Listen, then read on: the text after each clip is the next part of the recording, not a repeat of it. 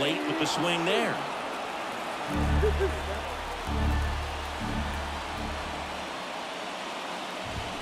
Goes down swinging for the strikeout. And that's her 200th strikeout of the season.